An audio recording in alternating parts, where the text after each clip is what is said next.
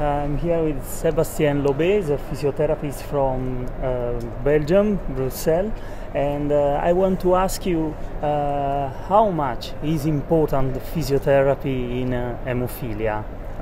Yes, I think um, I can say that physiotherapy is really crucial in the in the management of uh, hemophilia uh, muscular com complication because uh, we know that uh, most of our adult patients are suffering from uh, multiple uh, joint arthropathies and of course in many countries the availability of factor replacement is not optimal. So uh, I think that uh, physiotherapy is uh, really important because it's a really cost-effective uh, uh, way to treat a patient in comparison to the cost of factor replacement. So I think for to improve the quality of life of a patient, physiotherapy is, definitely crucial in patient in uh, countries with limited resources, but also in countries that have factor availability. And uh, in your country, how is the situation of physiotherapists in hemophilia centers? Is there a network? Is there a collaboration?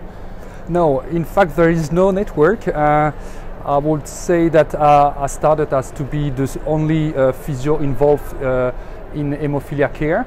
Uh, in Belgium. Uh, so what we do for the moment is, uh, as a chairman of the physiotherapy group of, of EAHAD, we are currently building uh, the physiotherapy network across Europe.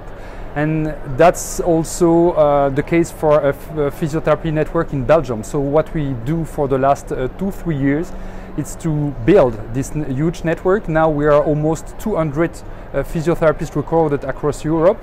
And uh, we definitely try to find the good candidate, the good physiotherapy candidate to be involved in the treatment of uh, hemophilia care. So uh, for the moment we are asking to the different hemophilia comprehensive center to uh, find a physiotherapist that would be at least partially uh, involved in the treatment of, uh, of our patient and most of all also in the assessment of joint arthropathies.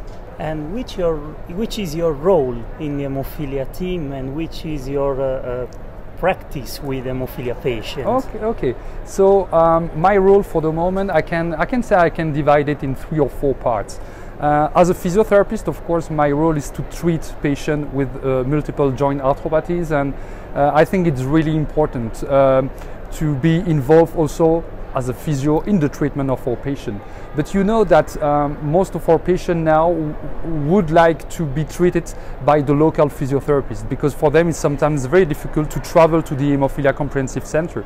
So one of my role is to be in contact with the local physiotherapist uh, to explain them what makes the difference between a patient with hemophilia and a classic non-hemophilia patient. And then I think uh, uh, things are going very well uh, because you take um, the, the, the, opportunities of the, of the local physiotherapist and then you just transfer, transfer some competencies and then do the job very easily.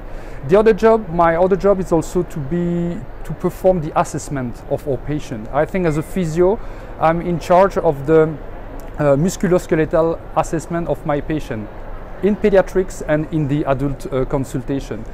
The aim is completely different because in the adult population, the aim is to follow the patient with already established arthropathies to see if there are improvement or impairment in uh, the functionality of my patient. And in the pediatric population, my role is to be uh, as sensitive as possible to detect the onset of uh, arthropathies. So by prescribing ultrasound, MRI. So this is my role to be uh, to uh, follow my young patient in order him not to have any uh, musculoskeletal impairment with the time. Lastly, as I'm a researcher, I'm performing uh, clinical research in the field of hemophilia and uh, in the past I was doing a lot of clinical studies in the field of biomechanics in order to better understand the, um, the mechanism of uh, ankle arthropathy but now my recent project is in a developing country in Ivory Coast. We are trying to implement a, a program of communi community-based physiotherapy and home program because we are facing a situation where uh, patients in developing countries do not have access to physiotherapy because of cost and because there are no physiotherapy uh, physiotherapists in the country. So what we are doing now is to teach them to do physiotherapy themselves or the family can do it as well if currently, uh, are there any guidelines or recommendations for uh, physiotherapy in hemophilia? And if not, how uh, how much this could be important? I think guidelines um, are very important, but I think you do not have to see guidelines as a cooking receipt It's, I think it's very important. So, what is the uh, situation for the moment? We start to have uh, published in the literature some good guidelines or recommendation for physiotherapy treatment, but with the creation of the physiotherapy physiotherapy group, of EAHAD, we will produce, uh, we will publish very soon, maybe in the next uh, two years, uh, official European guideline for physiotherapy. So. Um, I think that's only recommendation. We have to keep in mind that the situation is different in each country, uh, in function of uh, the factor availability, in function of the how uh, the physiotherapy as physiotherapists are considered in the multidisciplinary team. But I think we will end up very soon with uh, very good guidelines. Okay, thank you. Thank You're you very welcome. much.